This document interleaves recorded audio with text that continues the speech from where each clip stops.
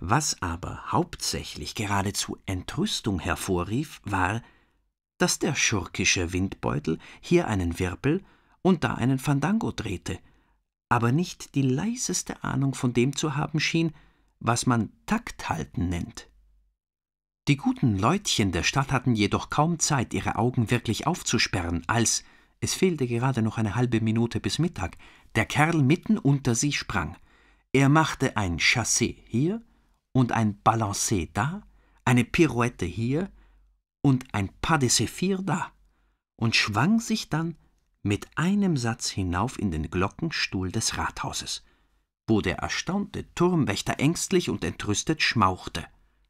Doch der kleine Kerl packte ihn sofort an der Nase, zwickte sie und zerrte an ihr, stülpte dem Mann den großen Hut auf den Kopf und trieb ihn ihm bis auf den Mund hinunter.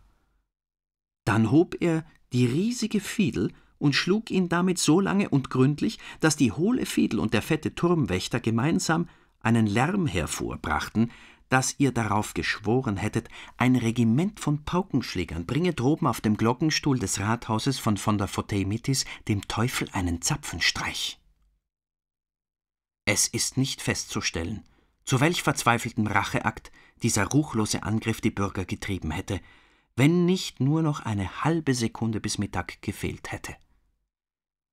Die Glocke musste gleich schlagen, und es war von höchster Wichtigkeit, dass jedermann nach seiner Uhr sah. Tatsache ist, dass der Bursche droben im Turm an der Uhr etwas Ungehöriges vornahm.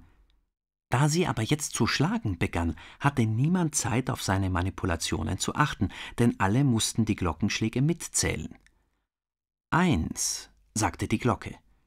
Eins, echote ein jeder kleine alte Herr im lederbezogenen Armstuhl in von der Foteimitis. Eins, sagte auch seine Uhr. Eins, sagte die Uhr seiner Frau und eins sagten die Uhren der Jungens und die kleinen goldschimmernden Spielzeuguhren an den Schwänzen der Katzen und Schweine.